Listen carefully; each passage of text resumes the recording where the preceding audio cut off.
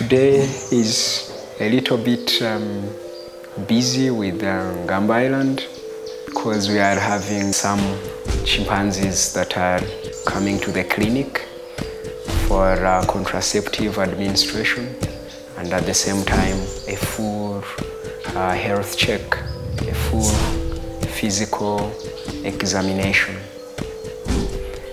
We are uh, today having three, Megan, then Connie, and uh, Surprise, who is uh, the only individual born from the sanctuary.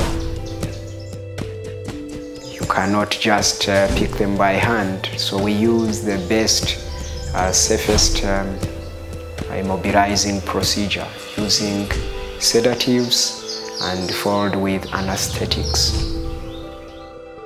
Contraceptive administration to chimpanzees would sound rather controversial.